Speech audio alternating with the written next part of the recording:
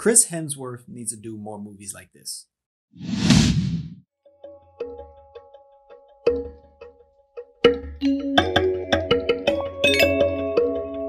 Hello, welcome to Just My Thoughts. I'm your host Khaleel Ward. On this episode, I'll be talking about Extraction, the new Netflix movie. Just came out. I had to check it out. It is written by Joe Russo, yes, of the Russo brothers who directed Avengers Endgame and Infinity War and Winter Soldier and produced 21 Bridges. He wrote this movie and it's starring Chris Hemsworth of Thor fame.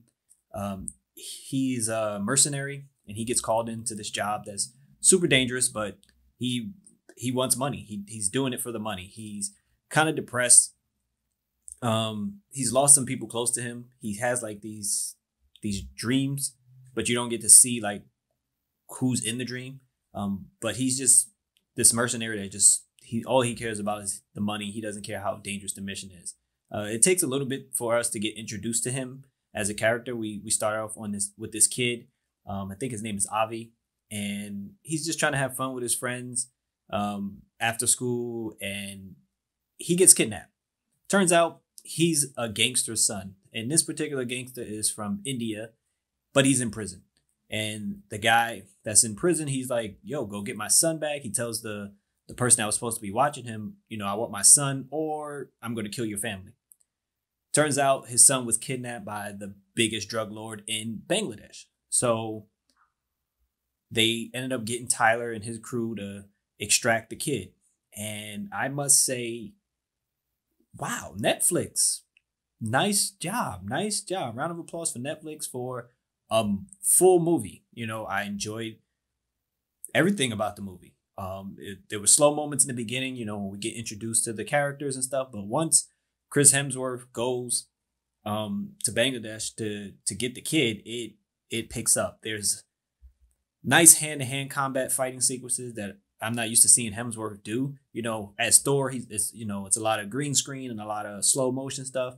And this one, he was fighting, like really getting into it. It, it had a, a John Wick feel at times because he would use a, a hand can, a hand a handgun at close range, different shots, different angles and stuff like that.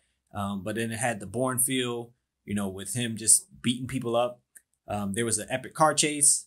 Um, there were moments like with the, the camera I like what the director did with the camera in terms of there were moments where something would happen to a like particular character, and instead of the camera following what happens to that particular character, it would linger on another character, and you will follow what they're doing, and then something else that happened off screen coming onto the screen. It, it was it was pretty cool. They did it a couple of times, you know, during that whole intense sequence where Hemsworth is really trying to get the kid out and he's killing a lot of people.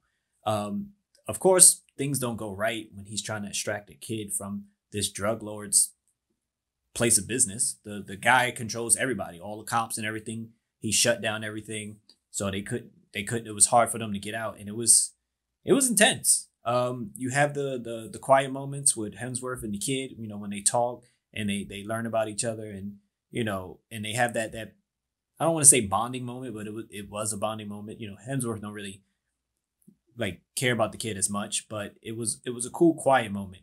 Um, got an appearance from David Harbour. He comes in the movie about an hour in, which was good seeing him as well from Stranger Things, and it was just it was fun. It was a really really fun Netflix movie. You know, a lot of action. Again, some quiet moments, and it was just cool seeing Chris Hemsworth let loose in terms of just he's a big dude and letting him fight and, and go after it. it. it. was it was a lot of fun. It's definitely something you should check out this weekend. Um, Extraction. Let me know what you think. Thanks for listening. Hope everybody's being safe out there. Deuces.